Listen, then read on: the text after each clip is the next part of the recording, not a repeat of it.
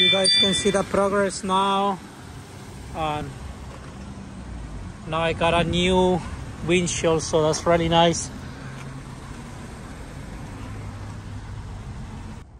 Hello guys. Welcome to another Honda Element video. Today I'm going to show you how to install this OEM roof rack. And I just pick up this at the junkyard for around $30 and the tools that you are going to need is a ratchet with a 5 millimeter uh, this is an allen socket and a very small flat screwdriver.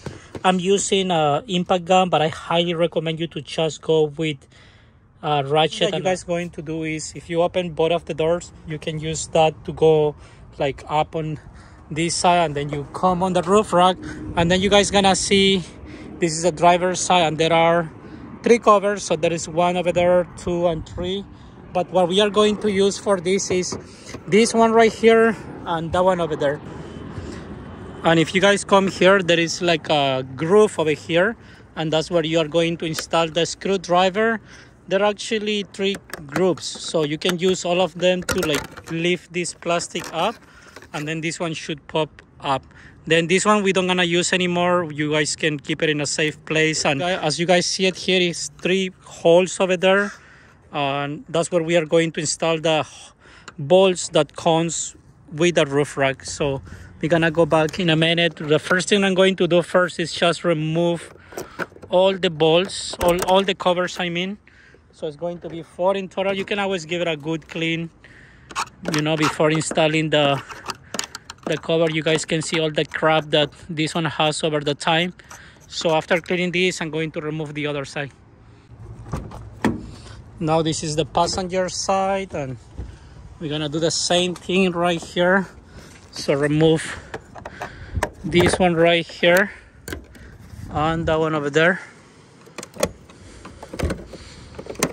So these are the covers out and now when we come to the roof rack you guys gonna see the roof rack has uh, covers but one of the roof racks has like a longer cover.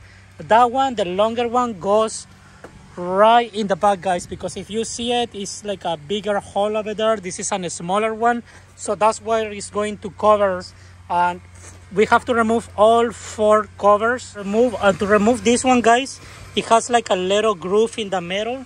So what you're gonna do you're just gonna very carefully pry and kind of wibble the screwdriver. Don't go too hard because you're gonna end up breaking this.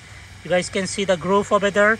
So that's how you're gonna remove it and then inside has three holes and that's where you are going to install the 5 millimeter allen bolts and it comes with the washers if you guys um, and for this side guys pretty much the same thing. You just leave leave this and make sure all the washers are there. So we're gonna have three in each side and pretty easy to do guys. You're just going to install it on top and then you are going to add those bolts over there okay so let's do that. And you guys can see i'm doing all this one hand but sometimes guys this is how it is when you're working in cars.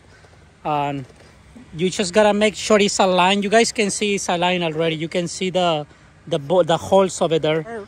Make sure over there is aligned too and just install the three bolts in each side guys and tied it with a five millimeter. I'm going to use the the gun but like i say guys highly recommend you to use a ratchet because you don't want to break these bolts. These allen bolts are very easy to break and you don't want to end up breaking it. And now let's go ahead and install it guys. There it is. All is aligned all is perfect. Now we are just going to install this with the washers. Just like install the ball like this and then you just gotta be quick there it is. And highly recommend you to go by hand first. Install all six of them three over three here three over there by hand before you are going to tie it. And, and before fully tightening these three bolts i highly recommend you to do the other three and then you just tie that one come back here tie it and boom good to go. You just install the cover bags i'm going to show you that too and now let's go to the other side. So now that these bolts are tight guys you're just gonna grab one of these covers. You're just gonna kind of guide it in place and voila you just push on this. And this is really nice and secure. I highly recommend you to to add some like a little bit of uh, tie on the bolts like guys. And that's how you start the OEM roof rack guys. Pretty simple to do. It took me no more than 10 minutes to do it and look who is here guys. Stephen Aldaco he just came to do some maintenance in his element and we are hanging out here. You guys can see the kiwi element with the OEM roof rack. Just to give you an example of an aftermarket roof rack guys it's pretty much the same thing. It also has the three bolts that are that holds that mount of the roof rack. But the cool thing about the aftermarket is that you guys can always remove like the bars. You usually put a key over there you push on the button and then the roof racks will come out.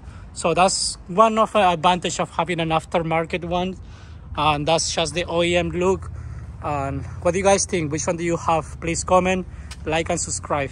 See you next Honda Element video. Bye bye